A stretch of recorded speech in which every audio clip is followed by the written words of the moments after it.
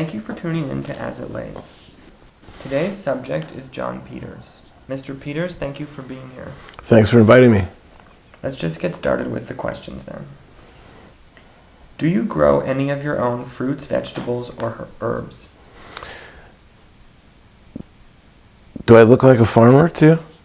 no, kidding. Do I? Um, actually, I do. I have a ranch up in Santa Barbara where we have lots of horses and dogs, and we do have some vegetables and herbs. And my my wife's my ex-wife's parents are farmers in Iowa, so they grow thousands of acres of fruits and vegetables. Have you ever danced all night at a European nightclub?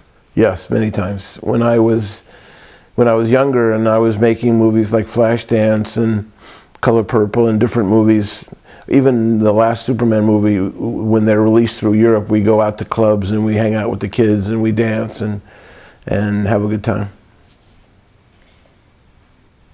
If you were to make a documentary film, what would be the subject? Child abuse. I, I, I think that children have no rights, and I think um, exposing um, the abuse in the system with kids would be a subject that I would. I mean, there's many things that I would do, but I think that the child abuse would be my my my, my first focus. Do you ever get homesick? Do I ever get homesick? Well, I'm too old to get homesick. So really, wherever I hang my hat is my home. So I don't get homesick. No, I mean I did when I was a kid, many many years ago, when I came from the valley into Beverly Hills. I sometimes I get homesick, but that was a long time ago. What does swallowing your pride taste like?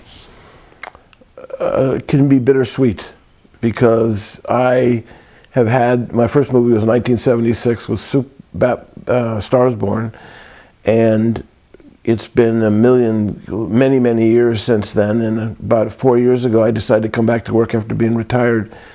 And I had actually made a lot of enemies, and I had, I had really been tough on a lot of people in the first go around.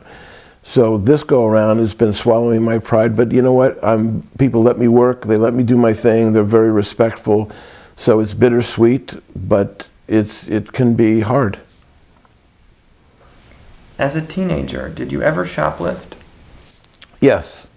Uh, yes. I, as a young kid, yes, of course, I've shoplifted. I've taken things that I shouldn't have, but but not often. I'm not. I don't believe in stealing. I believe in earning your way and making your own money so you can pay for things. What two musical artists would you like to hear sing a duet together? Um, uh, Beyonce and Eminem. I'd like to hear them, see them write a song and perform it. Good idea, right? What is the most remote place you've ever been? A small island off of Tahiti, um, maybe an hour outside of Tahiti, little island where there was no people, just almost like Indians living on it, and that was many years ago. Have you ever taken self defense classes or studied a martial art? Yes, I'm actually a black belt in Brazilian Jiu Jitsu, and uh, I have studied it for maybe 30 years. And I studied under a guy by the name of Carlson Gracie, who's now dead. And I manage a lot, actually a lot of fighters. That one of the guys that I discovered, a guy by the name of Victor Belfort, he just won the semi-championships last night for a thing called the UFC, which is the Ultimate Fighting Championships. So that's part of my passion, and I've been a fighter my whole life. I started as a boxer, and when I was in jail as a kid, I learned how to box, how to defend myself from the guys. And then I learned about kickboxing, and then I met the Gracies, and they put it all together, and it became the UFC, the Ultimate Fighting Championship. So yes, I'm, I'm, I'm very much into taking classes and training. I still do it now. Good question. You never thought you'd get that answer, did you? From whom do you get your best fashion advice? Ralph Lauren. Ralph Lauren has been a guy I've known years ago. He tried to buy the Batmobile from me when I was making Batman, and he called up. He was, I think he offered us a million dollars for it because he collects cars. But he's been the most important fashion icon in the history of fashion. I think he's he's he's he he, he makes them hip. He makes them old. He does the you know he, he combines everything, and he I think Ralph Lauren is a true fashion genius. Do you believe in a higher power? I absolutely do.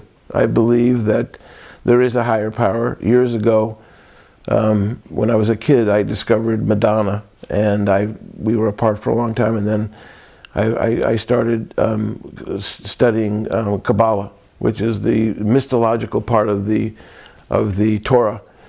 I realized how much I believe in a higher power and how I believe that there's we answer to our moves and in my own self.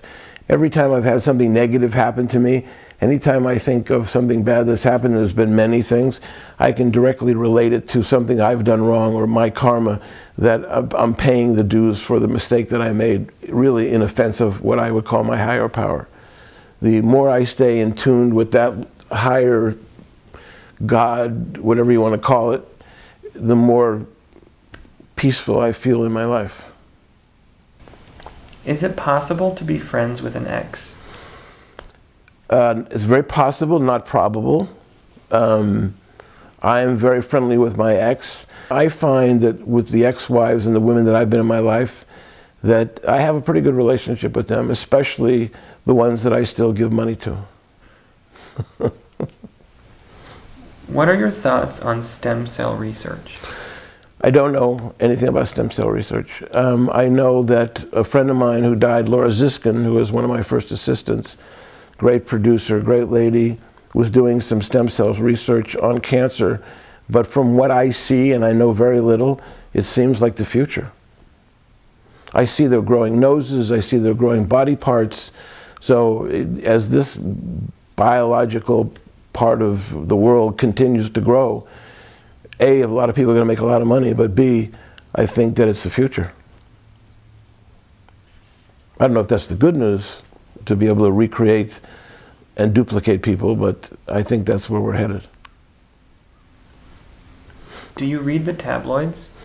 No, but I watch a lot of television, so it, that, that stuff kind of infiltrates through me, but I don't read the tabloids. Are you a good storyteller? I think I am. I think I'm one of the best, as a matter of fact. I've made almost 100 movies, and when I came to Hollywood, I didn't have a nickel. I was just getting out of jail for gang activity. And uh, I was in going to beauty school, and I had to be a storyteller to get people to believe in me, believe in my movies, to believe in the money to put up the $4 billion they put into Sony. You know, I had the, I got Columbia, I got the Sony to buy Columbia Pictures, myself, my partner, and a bunch, a lot of us, Walter Yetnikoff, a lot of different people. But I had to tell the story. I had to make the picture. I had to be able to convince everybody that this was a good investment. And you know, when you've made as many movies as I have, I grew up being a storyteller as a kid. Only difference was when I was a kid, I was a liar. I made up everything as a fantasy. And then as I got older, I made more of those lies and those fantasies become reality and created the world that, that I'm proud to have created in my, my 60 years or so. Is money really the root of all evil? Absolutely, yes.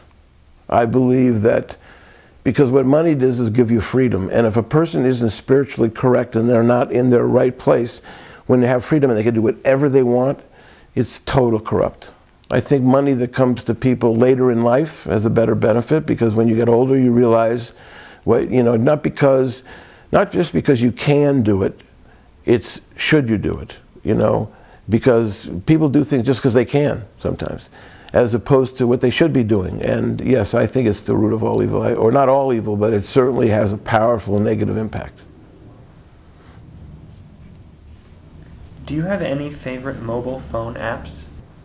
You know, the truth is, I've never used a mobile phone app. I don't even know what they look like. In your opinion, who has been the most influential First Lady of the United States? Hillary Clinton because I think that she is one of the smartest, brightest, on point ladies that we've ever had in the White House. And I met her years ago when uh, Bill Clinton was the governor of Arkansas. And we brought him out here to do, a, on a program, my partner Peter Guber and a bunch of Hollywood people brought him out here to do uh, to put him and to speak his thing on this thing called Education First, where it's we get involved with the schools and we change the education and we put a lot of money into it. Anyhow, I saw how she worked and how she helped manage him. So I think Hillary Clinton would be the, one of the most you know, you know important woman period in, in our time. Is it true that there are no mistakes in art?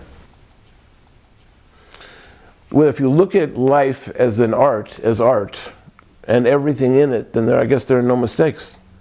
Because I know for me, like I made a movie years ago called Caddyshack, turned into be a classic movie. It's made lots of money every year. It's it's it's it's it's a, an amazing, whatever. But that movie was full of mistakes. The movie couldn't be edited together. The gopher sequence in the movie, which everybody loves, we put in with George Lucas at ILM because the movie didn't cut together. So that what turned out to be a classic was a serious mistake. So I think there really there are no mistakes. There just is whatever it is. People like it, don't like it, good, bad, or indifferent is, is like with the movie business. You know, I think anybody that gets a movie made should get an award. Forget about doing business because it's almost impossible. What do you want the world to know about Jon Peters? Um, I, I, I never really thought about that.